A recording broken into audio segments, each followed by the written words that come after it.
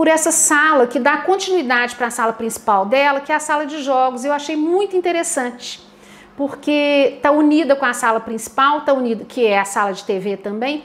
Então deu uma, uma forma muito interessante para o espaço e a utilização deve ser super interessante quando está todo mundo aqui. É, e ela, e eu resolvi colocar a mesa de sinuca porque eu não queria mais uma sala de estar. Uhum. Porque eu falei, hoje em dia a gente pouco frequenta sala de sala. A gente precisa de uma sala boa de TV, que atenda a família. Exatamente. Porque ninguém recebe mais em sala. Então, Não. e aqui eu queria fazer isso. Eu falei, ao invés de encher a casa de sofá, porque a sala é grande. É verdade. É bem grande, eu falei, vamos colocar uma mesa sinuca. Meu marido julgava muito na época. Uhum. Então, foi bom. E depois do marido, os meninos continuaram julgando. Ah, não, deve ser Quando muito vem divertido. com a turma deles, sempre tem alguém que quer julgar, então é bem gostoso.